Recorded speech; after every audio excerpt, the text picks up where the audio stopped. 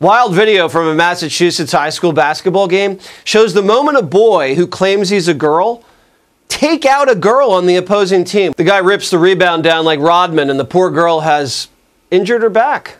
This was a game between KIPP Academy and Collegiate Charter. Three girls on that team got seriously injured just in the first half. The coach for Collegiate Charter forfeited at halftime.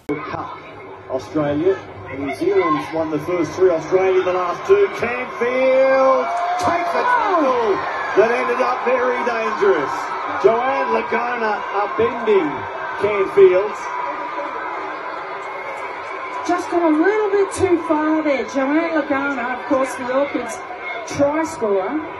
Could have been a well executed tackle. She's just gone too far up on that lift.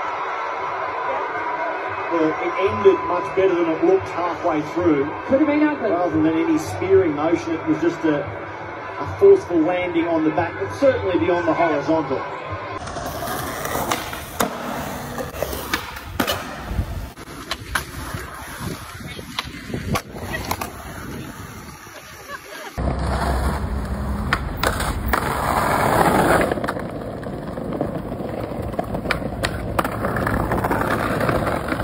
I find that funny because that's like what I'm getting beat up about the most is like you're beating little kids and little girls and I'm just like uh I didn't intend to do that like I just this was the first competition that I've been to that I actually wanted to win. The skill levels again really determined by your just like your your determination, your tenacity to just like put yourself in on top and through these obstacles.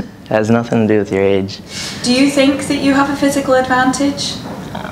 Okay. Uh, I don't. I don't think so. Soren Starkjessa. He's a dude. This is his brother. Way to cheat, bro! Way to cheat, bro! All right, you should be so proud. So proud. Of the first lap coming through now. Way to go, girl. Here comes second place.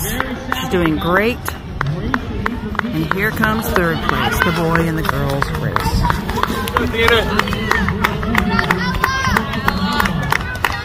Go get him fourth place. Go, Jesse!